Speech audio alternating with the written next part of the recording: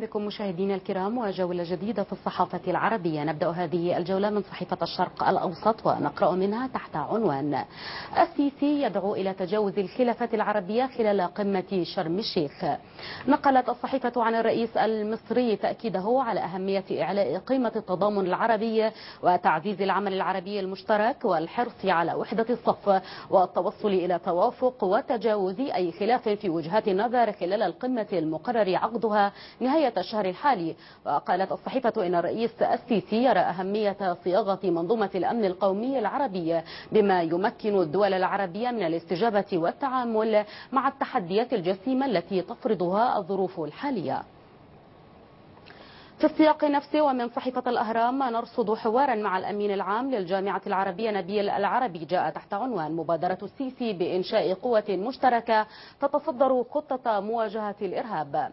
حيث قال العربي للصحيفة إن وزراء الخارجية العرب سيبحثون في الاجتماع التحضيري خطط تشكيل قوة عربية مشتركة وطرح هذا الملف على طاولة القمة العربية مشيرا إلى أن هذه القوة سيكون منوطا بها إذا تم الاتفاق عليها القيام بعمليات عسكرية أو عملية أمنية إذا تطلب الأمر ذلك لمحاربة التنظيمات الإرهابية.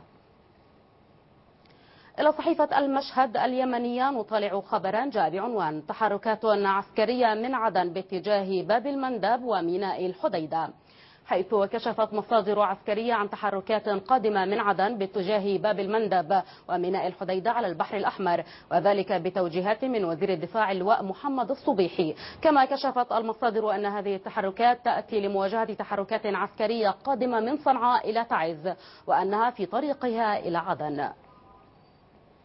من صحيفة الحياة اللندنية نتابع خبرا جاء بعنوان ديمستورا يتسلح بذخيرة روسية لتجميد عاصمة الثورة السورية. قالت الصحيفة إنه مع اقتراب إعلان المبعوث الدولي ستيفان دي مستورا فشل خطة تجميد القتال في حلب على رغم خفض سقفها العملية إلى وقف القصف بالسلاح الثقيل.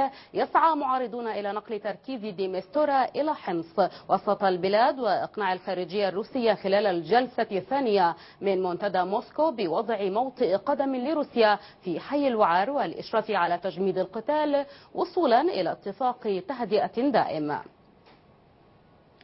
إلى صحيفة المدى العراقية ونطالع منها خبرا جاء بعنوان العبادي يعتزم توحيد قيادة الحشد تحت إمرته ومساعي لإشراك التحالف الدولي في معركة تكريت.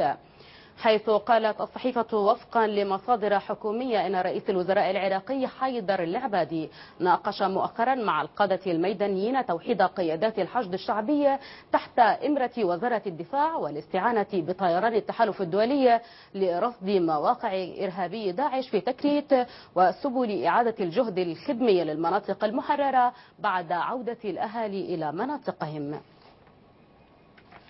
ومن صحيفة الأيام الفلسطينية نطالع خبرا بعنوان بان كيمون يطلب من نتنياهو تأكيد التزامه بدولة فلسطينية.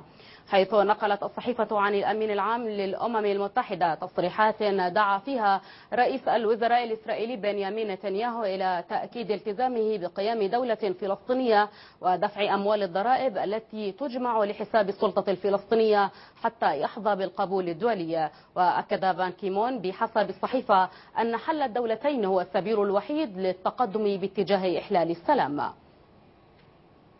مشاهدينا الكرام انتهت جولتنا في الصحافة العربية. بعد قليل لنا وقفة مع الصحافة العالمية.